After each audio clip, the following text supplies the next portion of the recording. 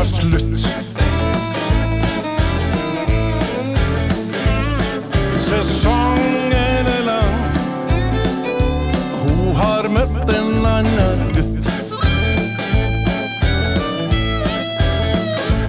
Alle drømmene han hadde, ligger i grus. Han het Roy, han har rolbublues.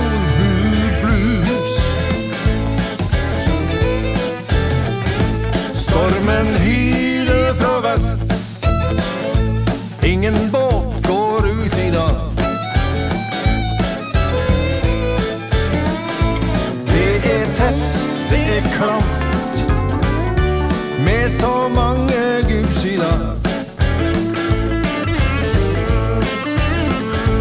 Gamle Peder legger ingen pris med snus.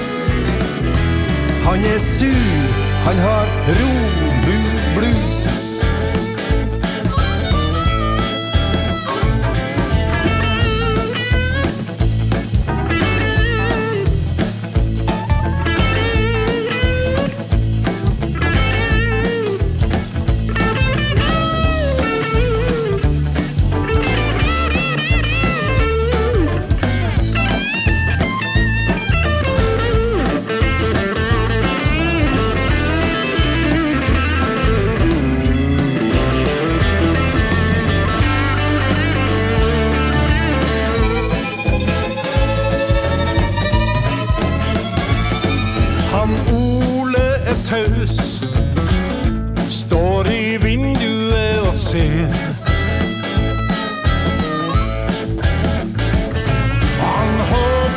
Det svir, at det skal bli bedre vær.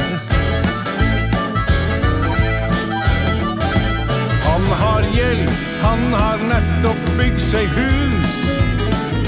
Og han trenger penger, han har rolbu-blues. Hun er en slags heng, ei lita stund i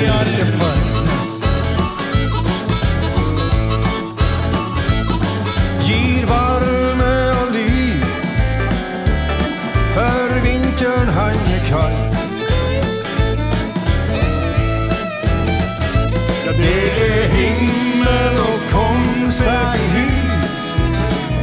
Så får vi levd med litt ro, rorbueblues. Vi står her i dag når vi kjenner oss i hus.